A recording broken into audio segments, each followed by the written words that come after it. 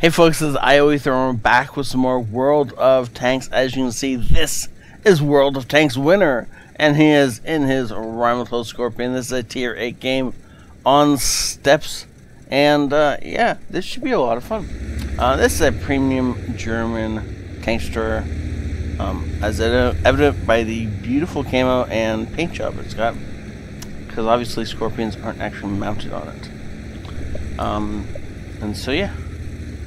Um, for those of you who didn't know, I was gone for a while. My work got crazy, busy, and I just couldn't deal with it and World Tanks and videos and streaming and everything. So I stopped doing everything but working and sleeping and a little bit of gaming at night just before I fell asleep, kind of thing.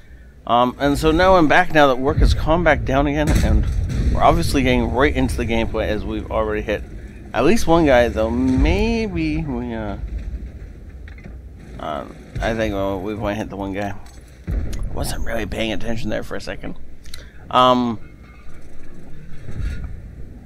Oh, yeah. Just stick that, that front half at... Oh... I thought for a sec that went to the rock, but it just barely missed the rock and saying in that beautiful flank. And there goes the Progetto 46 because he wasn't paying attention. He wasn't quite where he should have been, and because of that, he died. That's really the way it goes with this game. if you're not where you should be, you're gonna have problems. Um, so we know that Bat Chat is somewhere along that bush line. Uh, he's definitely lighting us every time we uh, we fire from here. Um, and he's well, apparently he's not on that end and either he's like just popping up for a second and then rolling back into cover and like doing that constantly or he's sitting somewhere that we didn't think oh hello mr 8.8 unfortunately not enough time to aim that shot and thus it went wide. Uh, enemies are doing a, a strong push up the 9 line and so we're gonna flip around and get over towards that side of the map turns out the uh, the Bat Chat is dead now. So now that we no longer need the uh, the spot to be safe, it's now safe, and we have a clear line of fire at the 8.8 from here. Ooh, also clear line of fire back at us. Thankfully, he didn't know we were there, so he wasn't firing at us. Yeah, he was looking at the Progetto 46, and the Progetto was getting out of there, so we didn't actually get spotted by him. Um, looking to not get shot, rolling up into that bush is a great way to get shot, though, because he's not going to be able to fire from there and stay um, fire from there without going too far. Oh, well, ooh, that was a chance we were willing to take. As it turns out, it was a good one. Yeah, no, this okay. For a second, I thought he was going to fire it at the Oho without being scoped in. And I, I thought that I'd like messed up the controls and I was in free cam instead. Of, no, no. That was just, he was just aiming at it uh, until he was almost loaded and then he scoped in. He's looking, oh, I was to say he was to look to kill the, um, the SU right from him. But when the Progetto popped up, he couldn't resist that shot. Now, knowing the SU has just fired, we can actually pop around this car and kill him, except for the fact that we now need, actually really do need to kill this Oho. And our best chance is going to be when he grounds that corner, and so we want to do that. We want to make sure we're loaded for that, which is why he didn't fire at the SU, by the way.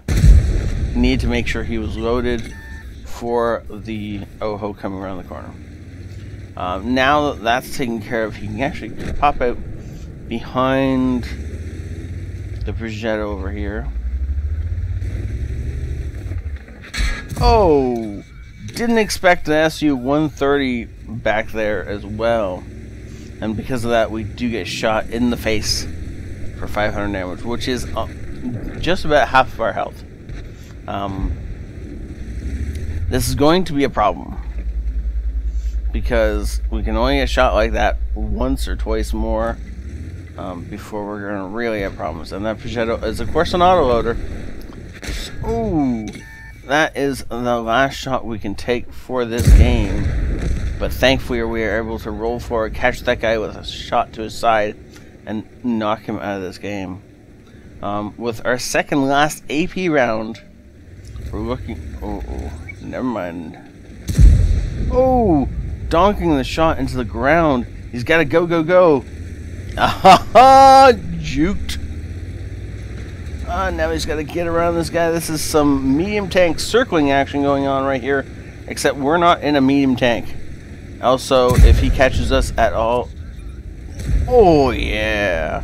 Backing up exactly at the right time to juke the guy's shot. And now we're going to reload before him, so we're just going to put a shot straight through him. And that is going to be that duel over with. Yes, good job. Um, as we load up another AP round. One of those rounds that we put into him was an HE round. Um, and so now we're just loading up our last AP round. And looking to take out the Skorpion G, our counterpart, um, basically. Next. After that, we're gonna start to look for that IS-3. Uh, and then finally the Rheinmetall. Oh, okay. Well, the Skorpion G is dead, so we're going to speed this up a little bit. Because we're going to head over open ground um, and search for that Rheinmetall, but it looks like he's actually going to bypass the IS-3. Which, I mean, I recommend um, going head to head with an IS-3 when you're got so little health. Probably a bad idea. Our IS-3 doesn't think it's a bad idea.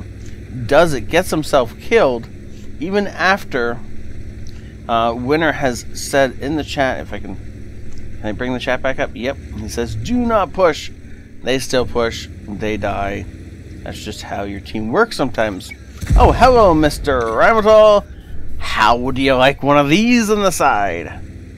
Uh, that was actually an HE round. He switched over on the fly on the way over, and I didn't notice. Oops.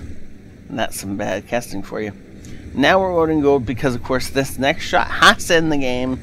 If it doesn't, we are going to die because there's no way we fire into an IS-3 um, and before he reloads or kills us. But apparently he was firing HE because he definitely he hit that guy in the side but didn't kill him. So for some reason, the enemy was firing HE instead of AP I don't. Does that mean he was out of rounds, or does that mean he's an idiot? I don't know. It doesn't really matter. Either way, he's dead. We got the top gun, and we carried our team to victory. Let's go see what his stats were. Ace Tanker, of course. We're not surprised. Bruiser, Fire for Effect, two bonds, mm, high caliber, and Top Gun. Well done. And so, other than the, the Bat Chat and the Progetto, everyone else that we shot at, we killed eventually. I mean, some of them. I mean, I don't remember. It was it was this one. This was the most epic duel I've ever seen into tank destroyers. It was great. Um, yeah, I, I just can't emphasize how awesome that was. Also, um, what's this guy? No. Mm-hmm. 15 shots fired. Um, yeah, it was this guy. 15 shots fired.